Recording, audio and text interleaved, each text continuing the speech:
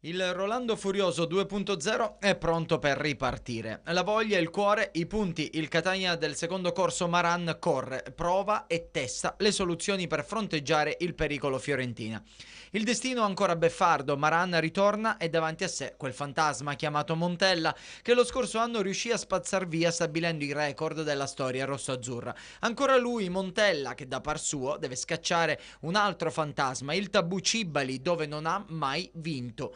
Avversario tosto la Fiorentina, forse il peggiore per il Catania, senza Lodi e Peruzzi. Ma Maran cerca negli occhi dei suoi orgoglio, la rabbia di tornare ad essere semplicemente Catania. Rolin, nonostante il dolore alla spalla, stringerà i denti, spoglie le grottaglie e guarderanno a vista il noi arrivato Viola Matri. Su quadrado Spauracchio, numero 1 Biraghi, oppure dal cilindro Rolin.